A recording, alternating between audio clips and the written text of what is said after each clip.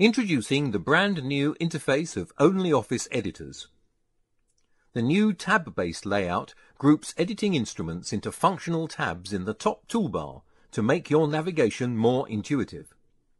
We reduced the complexity of the toolbar and put everything at your hand. In the document editor, we combine tools into six tabs. In File tab, you can create, save, download, print, or rename the file, manage group access and track document history. To access primary editing tools, switch to Home tab. Format text, adjust passages, manage styles and change page view settings. Need visual elements in your document? Add tables, pictures, diagrams, auto shapes and other objects in Insert tab. The additional parameters of the objects can be changed in the right sidebar. If you select a particular object in the text, the corresponding section will be highlighted. Go to Layout to change your page appearance and adjustment. In Review tab, you can switch document language, enable spell checking, insert comments and manage changes in the document.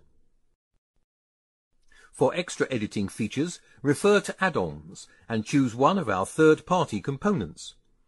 Add special symbols with Symbol Table, translate from any language with Translator, or recognize texts from pictures with OCR. Add images from clipart and work on them with Photo Editor. Embed videos in your documents via YouTube. The interface was also renewed in spreadsheet and presentation editors. Working on the new interface, we didn't forget about some great feature updates. In the document editor, Track Changes mode now allows you to see how the document would look if you accept or reject the changes proposed by others.